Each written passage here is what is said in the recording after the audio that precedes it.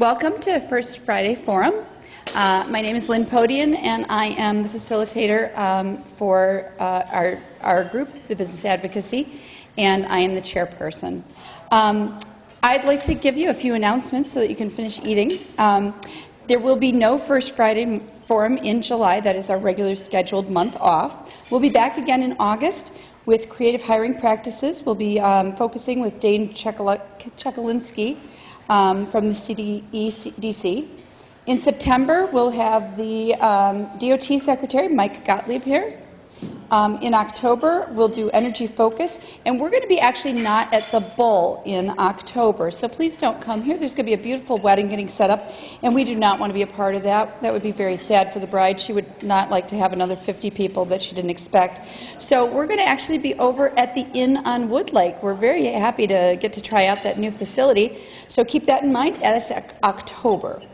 Um, and then in um, June, we'd like to talk to you about our focal point that's coming up, June 18th. That's, oh gosh, that, that's in two weeks, isn't it? Two weeks? Yeah. Um, it's going to be the secret habits of successful entrepreneurs. Um, Jeff Leesmer? Lesmer. Good. I'm glad everybody else knows who I'm talking about. Um, Mary Pitch, Jim Kregel, and Caitlin Bratz are going to be with us that day. So today, though, we're here to talk or to listen to Dr. Rai, and he is here with Prevea. In 2000, Dr. Rai started at St. Mary's Hospital Medical Center, and he developed the organization's first hospitalists services. So you're going to have to. My question to you today is going to be, what is hospitalist in comparison to hospital? Okay, so I had to write it numerous times. So I need to know this. And then St. Mary's Medical uh, Director for Hospitalist Services and Physician Quality Director. Um, then he's been Prevea Health Senior Vice President and Chief Medical Officer. Um, today, he is the President and Chief Executive Officer of Prevea Health, where he's the leader of 1,200 staff members and 300 plus primary and specialist providers. He's also the happy father of four beautiful children, three boys and a little girl. We let's welcome Dr. Rai. That wasn't too painful. No, thank you. She just said to me that wasn't too painful, was it? All right, so I'll define a hospitalist for you. Uh, it's those board certified in internal medicine uh, that spend their entire life taking care of uh, sick, sick individuals within the hospital and the intensive care unit. Um, so it's kind of humorous that I now run a clinic but never worked in one. I've always worked inside the hospital walls, but uh, uh, many of my partners uh, and I have done that, and we actually have a program here at St. Nicholas as well. Um, thank you all for having me today. Uh, when Betsy asked me to speak about trends in healthcare in 2014, I promised myself I wouldn't just make it about the ACA or the government, but I would give a brief update. But I really want to talk to everybody about what's going on in healthcare, not only this year, but what we see as an organization, and, and more importantly, what we see as a community coming in the next five years to the next decade uh, regarding healthcare. And I tried to make this uh, relate, uh, since you're all within business, uh, directly to those in business. Sorry, they got a mic in one hand, a remote in the other, and notes in front of me, so I hope not to fumble this too much. So, you know, the three categories I wanted to talk about today, and uh, would love to have questions either during my uh, talk or after. Uh, I'm fine with both. Uh, but one is to update everybody on payment reform. What's going on right now um, post implementation of most of the Affordable Care Act? Uh, what I mean most is there's certain other things that are going to happen throughout the year, but most of it. Um, and then a focus on health and wellness. Uh, what is going on in that category uh, within the country and what do we see coming forward? And then uh, a term that's more popular every day in healthcare, big data, and talk a little bit about uh, what are we doing with all of that data. So starting off with, uh, with healthcare reform, um, uh, I like this little graphic here, um, but it's unfortunately not a game to us anymore. it's real. And uh, so now we can talk a little bit about healthcare reform and its specific effects on the state. You know, prior to this year, uh, there were some conceptual things that were being rolled out, but obviously it, it wasn't real until people started going on the exchange. Um, if we looked at our ACA enrollment uh, within the state of Wisconsin this year, uh, about 140,000 individuals uh, purchased a plan uh, on the exchange. And actually, I got to correct my language on that. 140,000 people enrolled uh, on that. Paid, we're still trying to figure that out. Um, and a novel concept for those that have, and, and you got to understand, most of these individuals haven't had to purchase health insurance in the past. So they paid their first bill, not knowing that the amount they agreed to was monthly. Um, so we're starting to run into what do you mean I have a second bill? So we're running into the, how many people are actually enrolled versus paying their premiums.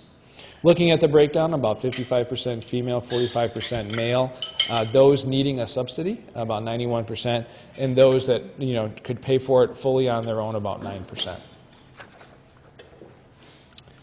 For those of you uh, that have not been on the exchange, the health plans are graded by a metal tier uh, and then a catastrophic plan. Platinum being a very expensive one, uh, even with a subsidy, hard to afford. Uh, it's only about 1% of what we saw in Wisconsin was platinum, about 6% gold. This is where you're going to see those individuals who didn't need a subsidy once again, kind of their price point, wanting a larger plan. Uh, the majority of those receiving a subsidy uh, were in the, uh, the silver range. And then once again in the bronze range, those that either received a subsidy and couldn't afford uh, the small amount of premium, or those that just wanted something out there from a coverage standpoint. So, what's our age demographic in the state of Wisconsin? Those that have actually purchased uh, health insurance this year off the exchange. You'll see the, the sweet spot for the state of Wisconsin actually was in the 55 to 64 range and 45 to 54. That's slightly above the national average. So we had an older population uh, going to the exchange. Why does that matter? Um, really, what makes the exchange work and what makes all of this purchasing work is you need a balance between those who are going to need health care and those who are not going to need health care. And logically, as we get older, we need more and more health care, so you need a strong young base purchasing to make the overall finances work. And we didn't see that in the state of Wisconsin. And that is probably nationwide everybody's biggest concern right now is the affordability of the payment reform really depends on a bunch of young, healthy people who don't ride motorcycles, drive the speed limit, never drink, have never looked at uh, a cigarette in their life enrolling, which would be what, maybe about two people in Sheboygan in Brown County? Having grown up around here, we, we all know. Um, you know, this year we also had a couple curveballs thrown at us. And, and what I mean by, by we, I'm not only talking to you as a healthcare provider and somebody who runs a healthcare organization and an insurance company, but I'm also talking as an employer. Uh, actually, uh, we're up to 1,600 employees now, and 1,700 by the end of this uh, end of this summer. So this matters to us in, in a variety of ways. So when um, Washington decided at the last minute to you can keep your coverage, um, we were caught in a trap. All the insurance companies were ready to implement something and then had to figure out how to rewind. Um, it allowed people not to impact some of the uh, ACA provisions onto those that are purchasing. Some were.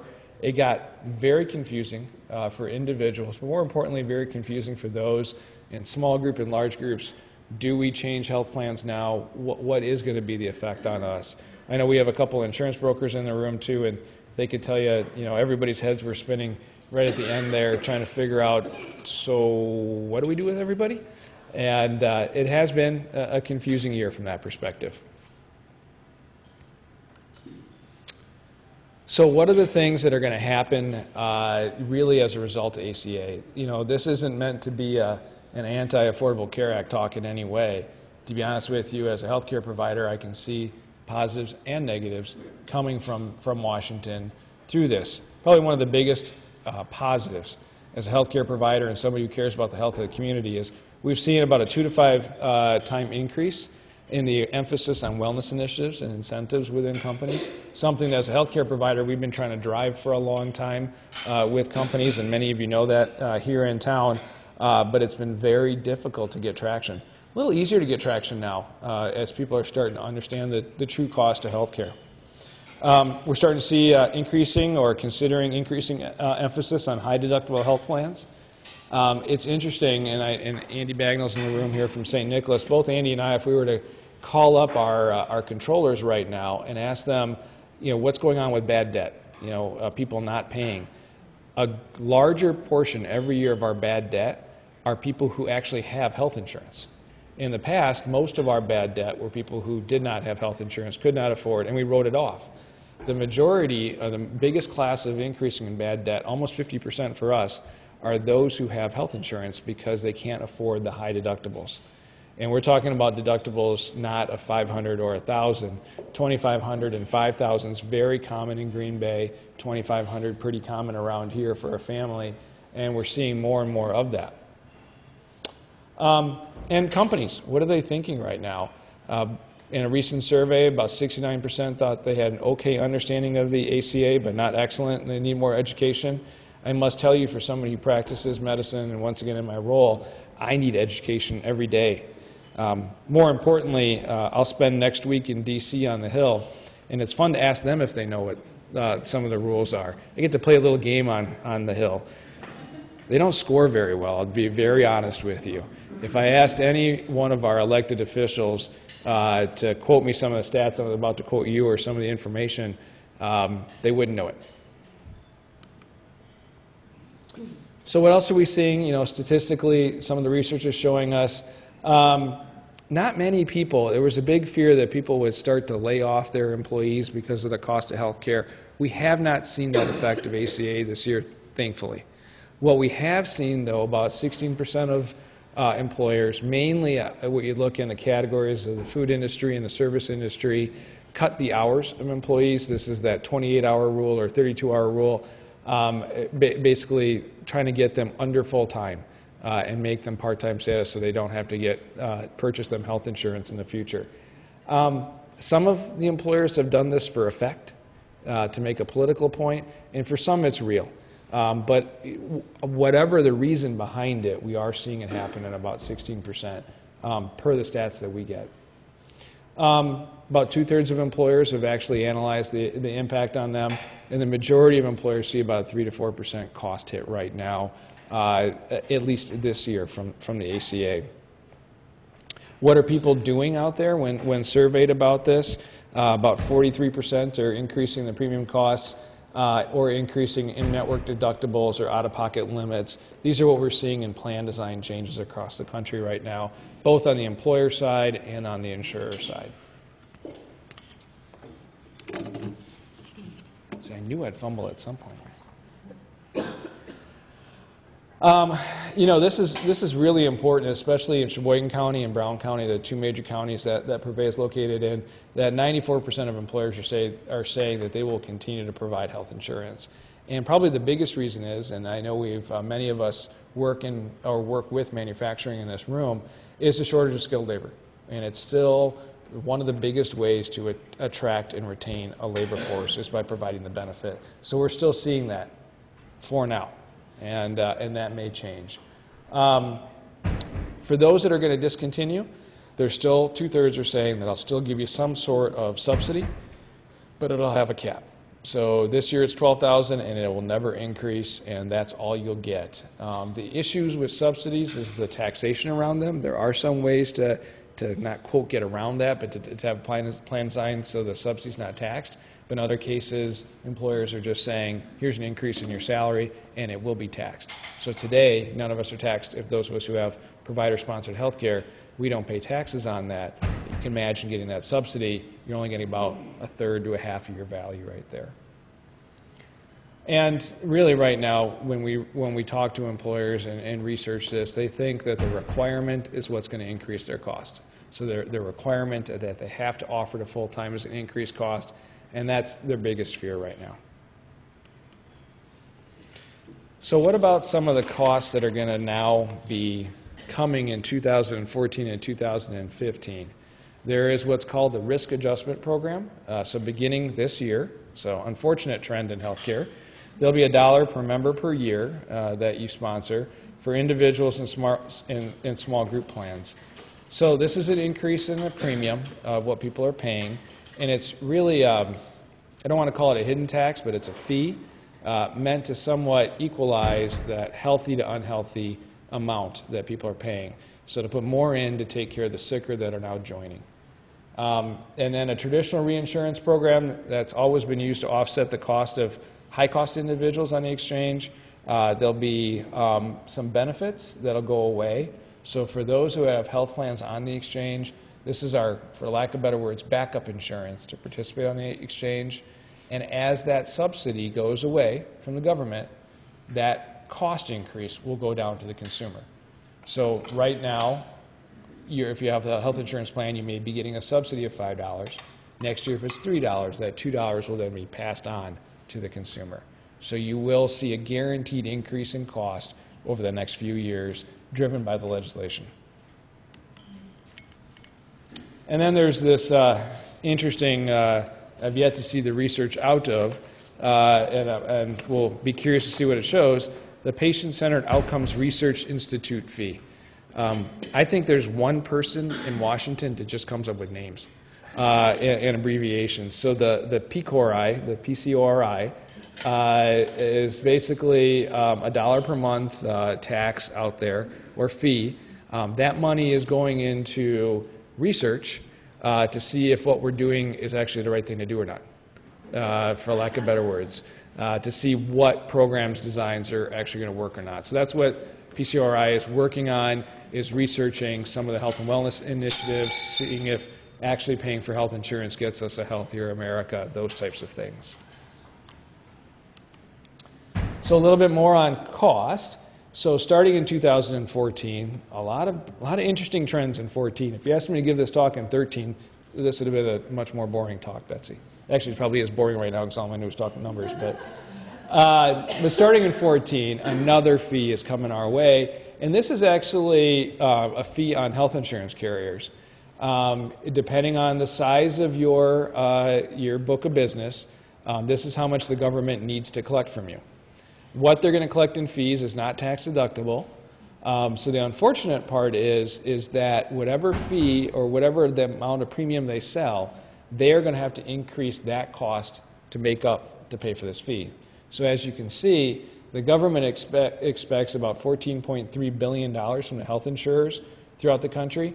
Well, Wall Street expects the exact same margin out of those health insurers. So the only, one, only way to make them whole is to pass that cost on to the consumers and to the employers that are purchasing the health care. So you'll see an increasing guaranteed cost here uh, that's, that's essentially legislated over the next five years. All right, that's enough about the, uh, the Affordable Care Act, at least the negative part of it. Now, like I mentioned, probably the best thing that came out of the Affordable Care Act, from my perspective, is an awareness in this country that we need to get healthier.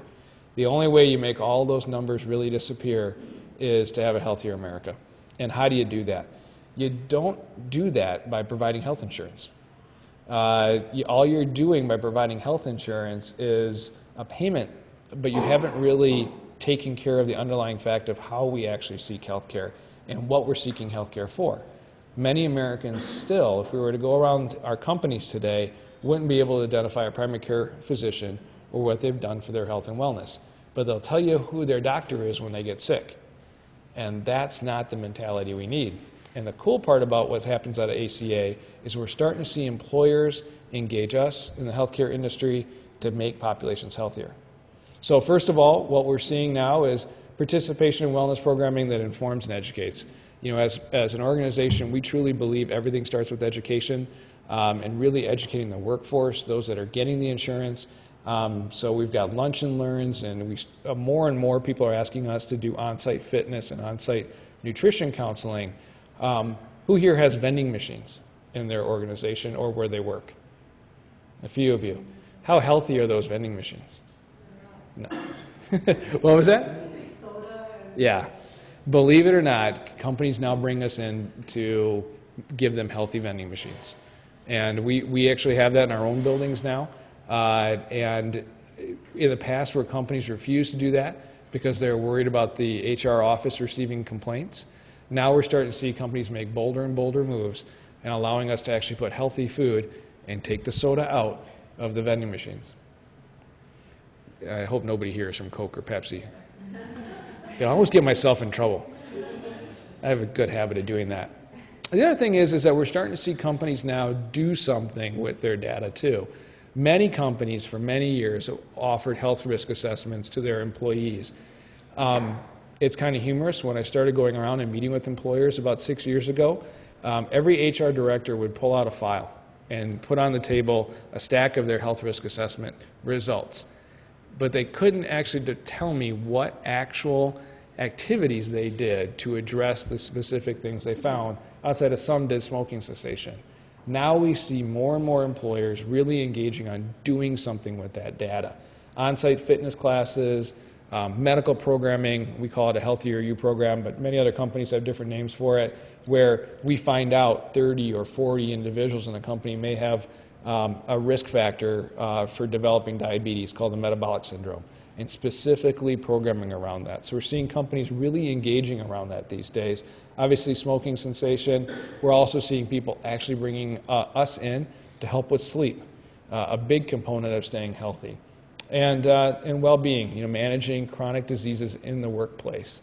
It's such a nice captive audience there, and you can educate them. You're paying for their health insurance as an employer, and we're starting to see more and more engagement throughout the country on that, definitely in our local areas. We're also seeing people doing more because the whole concept of addressing a pre-existing condition is gone. So one of the fears or barriers to actually even looking for what's wrong in a company is identifying some sort of pre-existing condition. There was a fear factor in America of even seeking health care. Um, that's gone now. So we're seeing a lot more engagement in the long term because insurances can't hold that against you. So definitely seeing that. And we're also seeing a lot more incentives with employers. They want to put skin in the game. And we've been begging employers for a long time to help us with this, to put skin in the game. You're paying for their health insurance. Why don't you motivate people to get healthy, but also reward them, either with lower premiums, monetary rewards, free offerings, and, and I'll talk a little bit about the Pebble in a little bit. You know, attend a class, pay less. And it's really, it's really creating traction. Also, fun things we're seeing, we're also seeing, and I guess I'm on a podcast right now, so I can say this. Uh, we're starting to see, you know, video podcasts being distributed in organizations, um, so it's easier to get health and wellness education across. That's a, a much bigger uh, trend for us in 2014.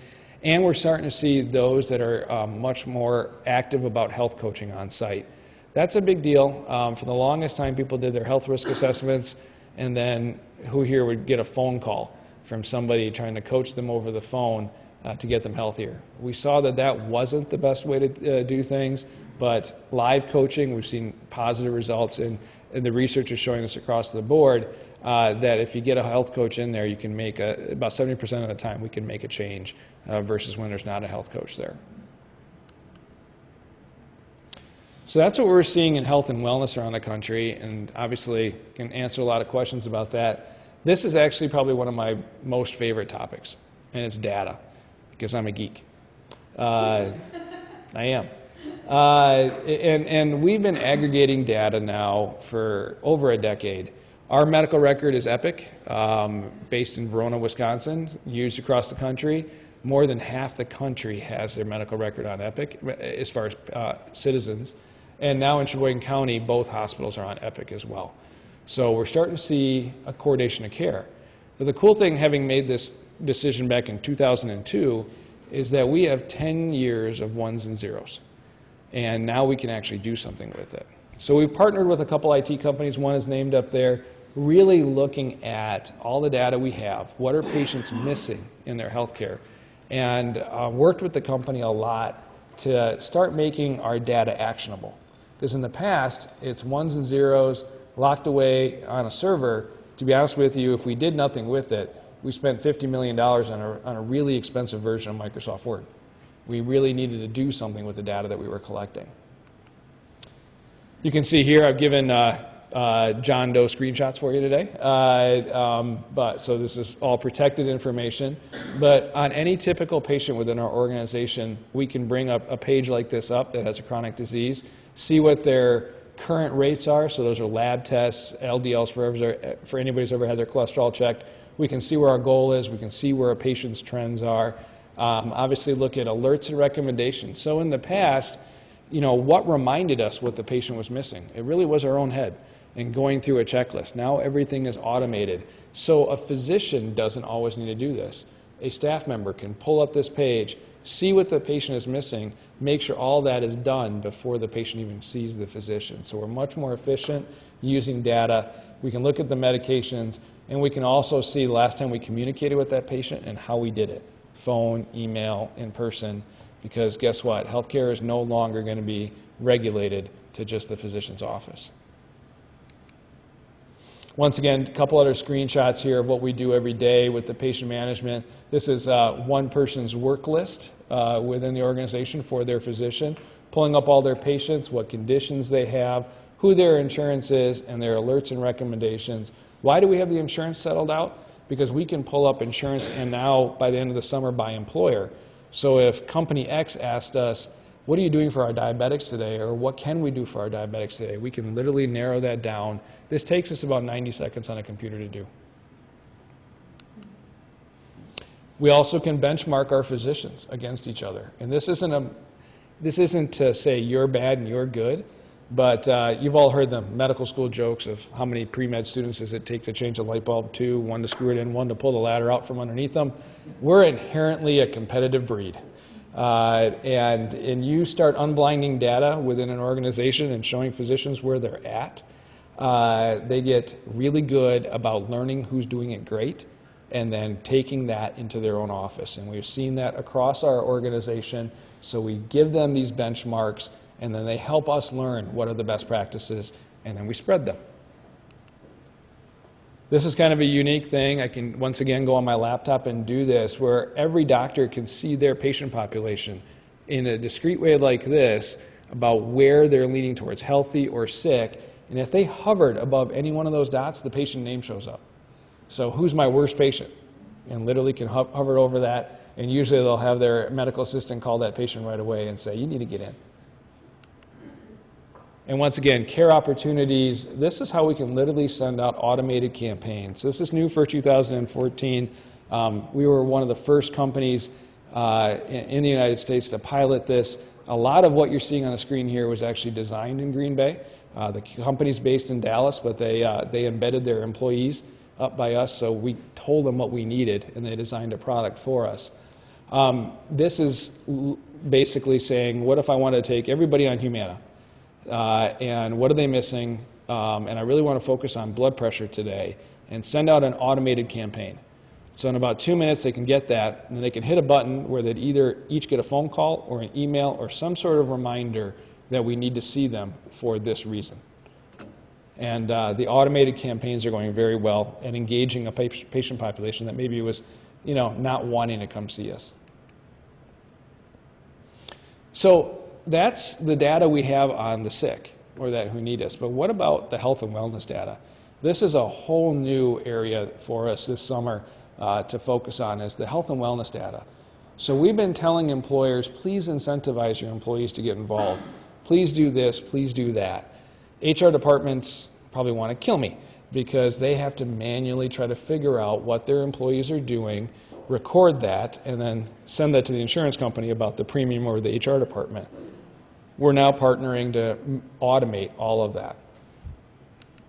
So you can see screenshots here.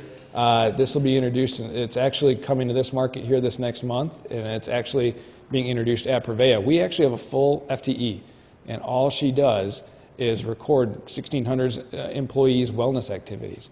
That FTE now, she'll find a job, don't worry. Uh, but we've automated everything for that person now. So, as different employees participate in different areas of their health and wellness, it, they self report, but the company will then adjudicate that or make sure that actually happened. Um, and in some cases, say it's an activity thing where they're wearing a pebble, which is a tiny little pedometer.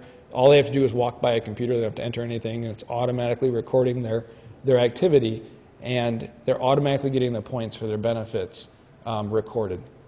This has made it much easier for HR departments uh, to track. This is an example of how an employee would enter in. Um, but say an employer had 2,000 employees and they would give a $50 discount to everybody that had an HRA. We just take that HRA data, feed it directly into here, and the employer already knows who did it and um, who actually acted upon it. And once again, examples of the scorecard. And more importantly for the employer, the sheets they get on everything their employees have done. So no longer is it somebody in HR having to manually track this or have an Excel spreadsheet. So, what are the biggest trends we're seeing right now uh, across the board? You know, really, the healthcare company of the past, as, you, as I've talked here, we've really, in the past, focused on what can we do to you today? How many of you here have seen a commercial about a robot or what we can do to your eyes or what we can do to your heart? That really is what we were paid to do. We were profits were driven by volume and illness. I mentioned I'm a hospitalist. Um, I actually went into administration not because I got sick of being a hospitalist. I love it and I still practice. It's because I got to see every day the failures in medicine. And to me, a patient in the hospital is a failure of, of what we could have done to prevent that. So it gave me an opportunity in this role to do something about all the failures I saw. So many of the patients I saw, or so many of the patients I pronounced dead, to be honest with you, could have been prevented if things had been done 10, 15, 20 years ahead of time. And we had perverse incentives. Think about it. We don't get we get paid the most the sicker you get. You know, open heart surgery is great, but guess what? After open heart surgery, if you're not breathing well and we have to put a tracheotomy in you, we make an extra $10,000. That's how perverse medical incentives are, and they need to change. That's the reality of it. And I'm here to say I don't really appreciate that reality. So, the healthcare system of the future, so you had companies of the past, and now it takes an entire system uh, to care for a patient. We've got to focus on keeping a population healthy. Profits are driven in a risk or a gain sharing model. In other words, if the physicians and the hospitals don't have risk or skin in the game, they'll never change their incentives. We did ours by having our own insurance company. Nothing riskier in the world than doing that, let me tell you. Um, and then technology focused on keeping people healthy. So the biggest advancements in technology when I was in training were really around stents and what we could put in you and robots and what we could do to you.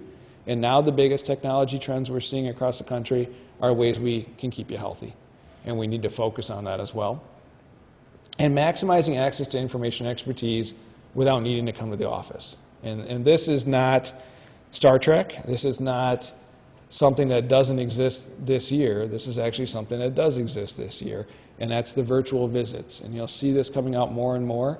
Uh, we'll be rolling this out to all of our employer customers here this year, where if we have an employer clinic within you and it's 10 o'clock at night and we're not open, you can pick up your iPhone, you can FaceTime, you can Skype.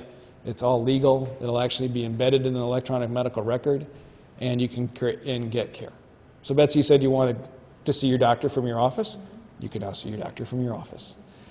What does this do? Well, we have a physician shortage throughout the, organ, throughout the United States in certain specialties. Psychiatric care is a great example of a, a shortage across the country.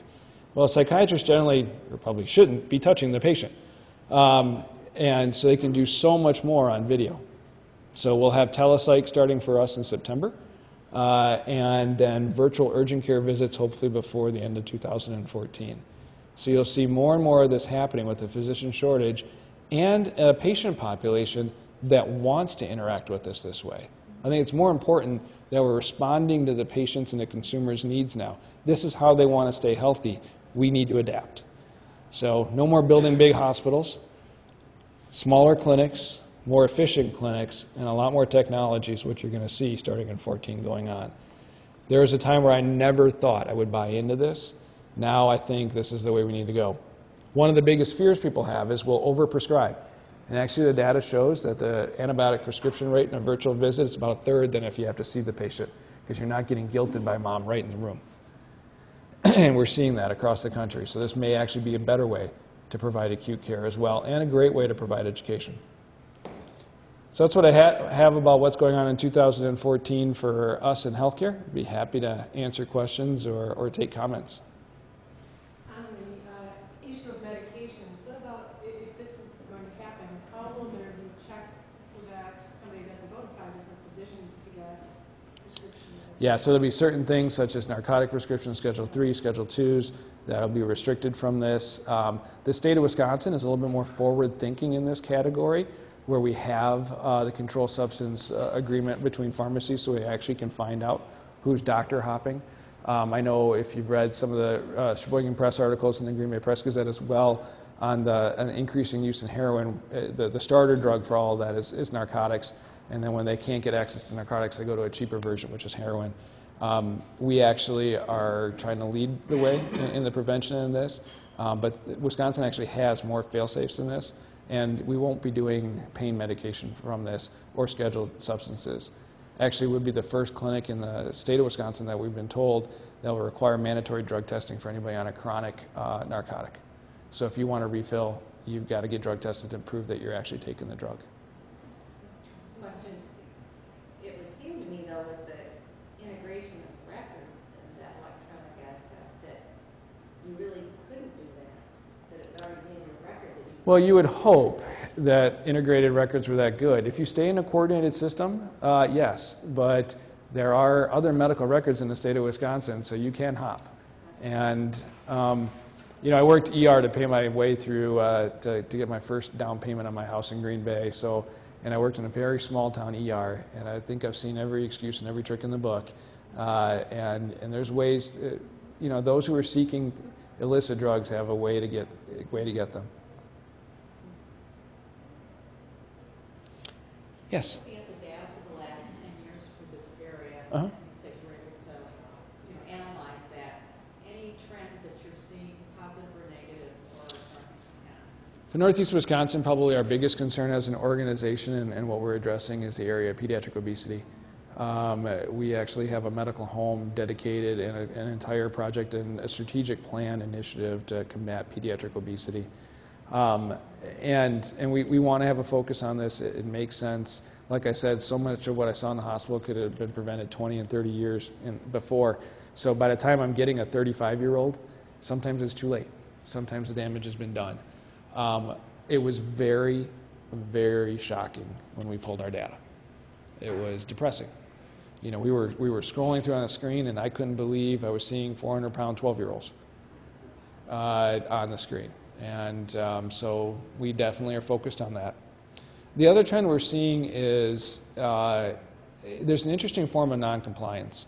And noncompliance to me is not just not seeing or not taking your medication or listening to your doctor, but many people with chronic disease aren't having scheduled visits. They're not interacting with the healthcare team, whether it be a physician or somebody else, in a regular manner. And that's why we redesigned our care around chronic disease. We have this thing, our statement at Prevea is that the visit never ends. So depending on the severity of your disease, depends on how often we're going to touch you, whether it be a physician or a nurse call or an automated call. All of that is actually tiered depending on the severity of your illness now. Yes, It, John? it would seem to me that we're gonna have to have a, a really cataclysmic media shift with what gets advertised. Watch weekend sports, it's beer, soda pop, things like that, Viagra, whatever. If you watch the evening news, it's one medication after another. And I think that's the way most people pick up their news, pick up their information. So to me, it, it, it seems like there's gonna have to be a really big change in how people get information, how, and even pushing it down to the younger ages. Yeah. Understand the long-term benefits or deficiencies of how you're living. You know, the hard part there is that there's so much money, Yeah. uh, and you have to have guts. Um, for those of you uh, who saw our Game Changer program, we took six individuals, three from Sheboygan County, three from Brown County, and focused on making them healthier. So think about spending seven figures as an organization to make sure you don't make any money. You think about that entire marketing campaign was focused on us not making any money. Because remember our perverse incentives, how we get paid. You have to go out there and put your neck on the line to change it. Now, we make enough money that we can do that, but if we don't start focusing on the health and wellness of the community, I'm not going to have anybody left to work for us. I mean, it is, it's that bad. Um, but the only way you can combat that, you can't sit here and regulate and legislate against somebody's voice. We're, we're proud that you can't do that in this country. But then you have to have bold enough voices to market over that. Yes. On that scatter graph, um, you said when they're further out, i- is Is Yeah. it the try and get everybody to the Into, into it, no, into the green quadrant there. There's, a, there's different quadrants. Uh, Depending on the disease process, I mean, you can actually check, you can change your X and Y axis on that. In that slide, we want to get to a better quadrant there. Yes, in the back. Doctor, I appreciate the information and specifically the attention that you gave to the increased interest in wellness programs. If I could, maybe just highlight that the legislature has kind of understood that and recognized it as well. And so in the current session, the legislature and the governor created a wellness tax credit for, for businesses. Uh, It'll kick in in 2015, and it helps to cover the cost of starting wellness programs here in the state of Wisconsin. It's for smaller employers, I think 50 and fewer, 15 fewer. Yep. and then it can cover a big chunk of your wellness startup costs. And we are extremely grateful uh, to Madison for that. Um, we fought a lot for that. We're kind of hoping it would be more than 50 employees, but we understand that. Um, but it's, it's fantastic. Uh, we have, uh, for example, I can give you a company that uh, we work with every week on on-site fitness that uh, has less than 50 FTEs at that site. Um, and they've had us on site now for five years, and that's Seroogy's Chocolate. I guess they had a thing about eating their product. Uh, and, uh, but think about a chocolate company taking the leadership and investing money on on-site fitness. They did it out of their own po- pockets, but now thanks to Madison and, and a really a very important piece of legislation, probably one of the most important that I, you know, from a healthcare provider standpoint, it was the first healthcare piece of legislation. It wasn't sick care; it was a healthcare piece of legislation that was put forward. We wish it would go national, and hopefully we can set an example by showing some data trends.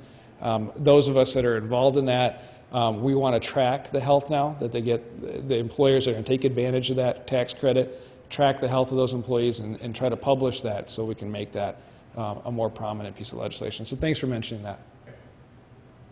To follow up that, I have a question.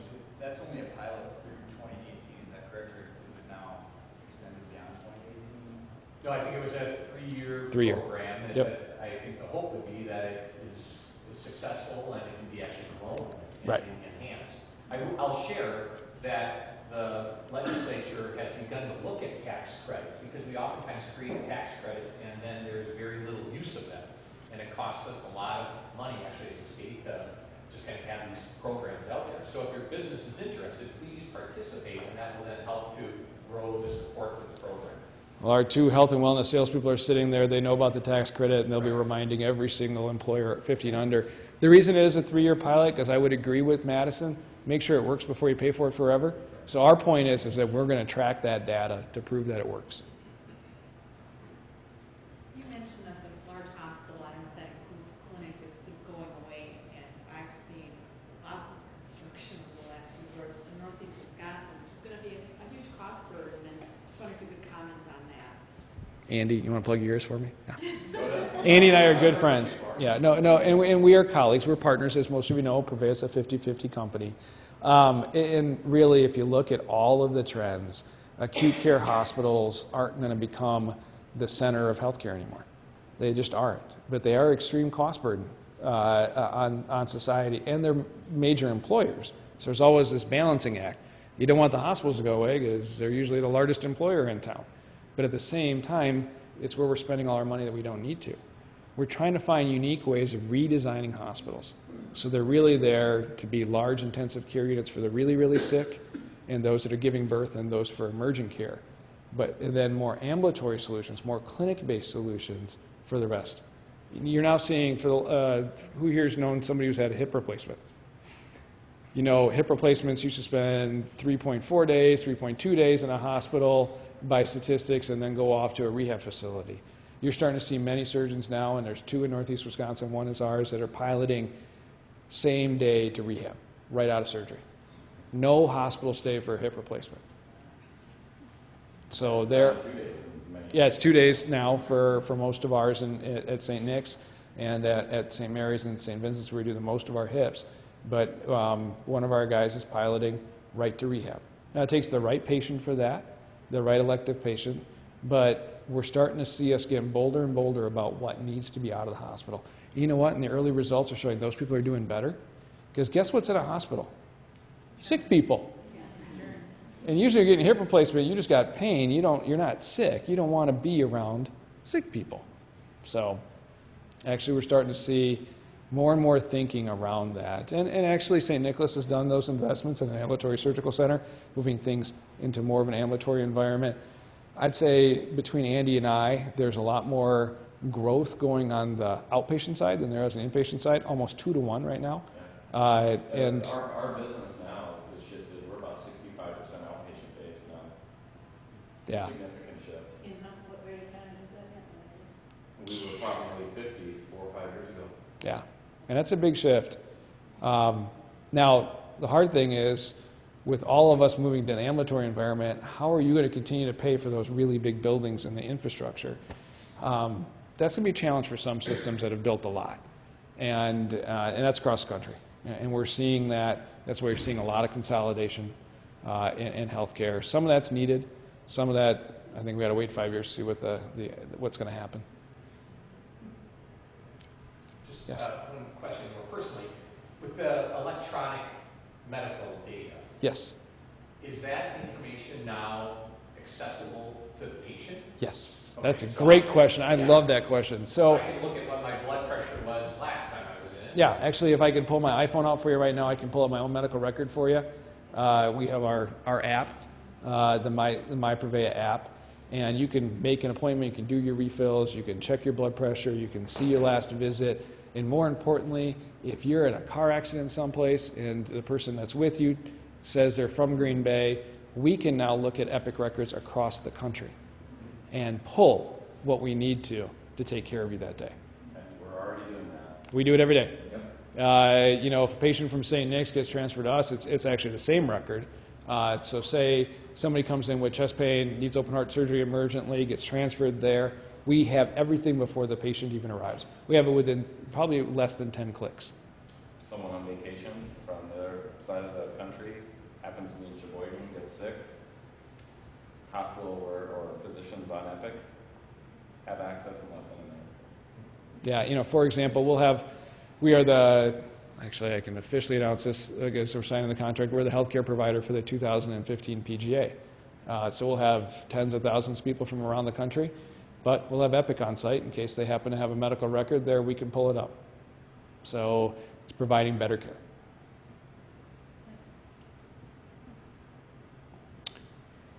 Well, thank you everybody for having me. Love coming to these lunches and uh, happy to stick around for any other questions.